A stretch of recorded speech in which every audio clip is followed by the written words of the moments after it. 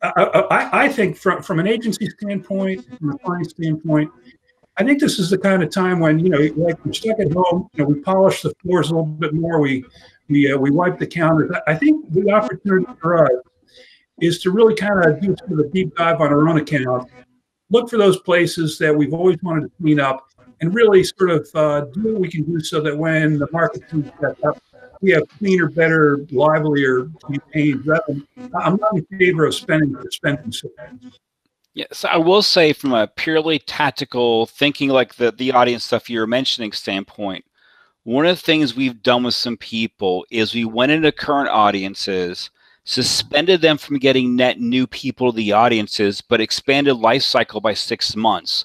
So the previous audiences don't die off, then recreated all the audiences, right, with the news with only the new people, so that way we can segment to, to some extent people who work from home versus people who were you know in the office previous to this because we don't really know is how much this is going to affect how businesses decide to do remote work in the future. And so we have mm-hmm. completely reshaped audiences for several people to be able to manage that segmentation if it matters. It may have turned out to be a whole lot of useless work. Um, but I have a feeling for certain companies, it's going to be huge to have the the corona right audiences in a way the work at home people segmented from the others that's a good.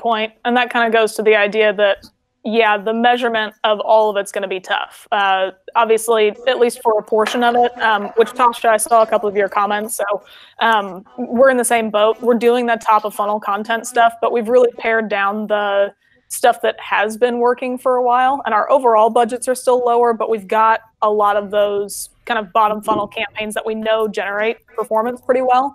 And this is kind of one of those things on top of it, knowing that some of their prospective business is kind of scrambling. So they might not be typing in exactly the right thing. They might be trying to learn.